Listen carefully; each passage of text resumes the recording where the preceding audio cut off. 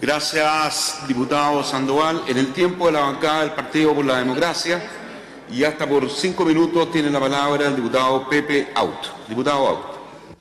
Gracias, presidente.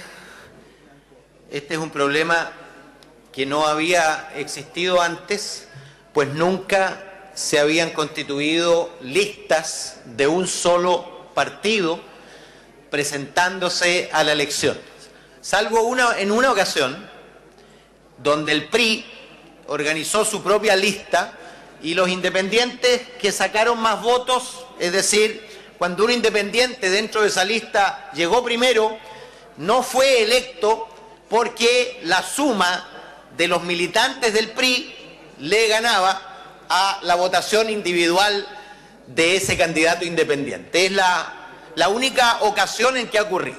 Ahora ocurre con la UDI y Renovación Nacional, que son partidos que llevan su propia lista a la elección municipal. Este no es un problema que afecte a Evópolis y al PRI porque están, están participando en una lista y naturalmente los independientes tienen la opción de subpactar con uno u otro. Tampoco le afecta a la democracia cristiana y al Partido Socialista que configuraron una lista y en consecuencia los independientes pueden escoger con qué partido subpactan tampoco al PPD y al PC, y tampoco al Partido Radical que va en una lista con el MAS y la izquierda ciudadana. En ocasiones anteriores, cuando se, se ha tratado de resolver un problema que afecta a un solo sector, ha habido quienes han votado en contra o se han abstenido porque no era problema de ellos. Yo quiero decir que nosotros no vamos a actuar con ese mismo criterio y naturalmente vamos a respaldar esta iniciativa, aunque el exclusivo beneficiario sea la UDI y Renovación Nacional, porque evidentemente ningún independiente tendrá interés en ingresar a la lista de la UDI, porque para ser electo vas a tener que sacar tantos votos como sumados eh, obtienen todos los militantes de la UDI. Y en consecuencia vamos a votar a favor.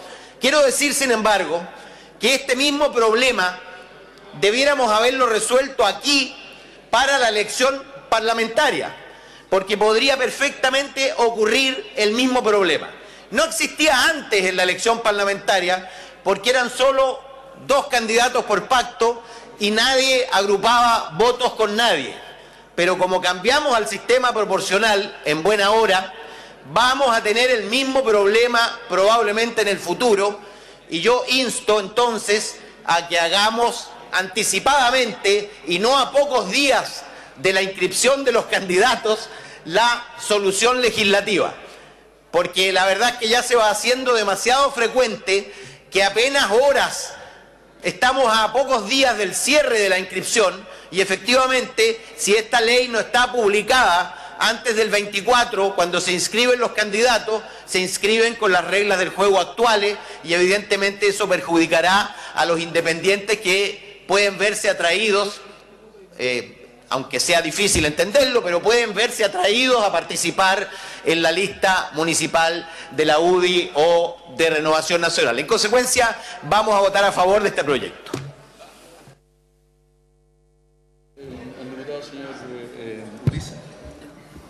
Gracias, diputado Pepe Out. En el tiempo de la bancada del Partido Socialista tiene la palabra el diputado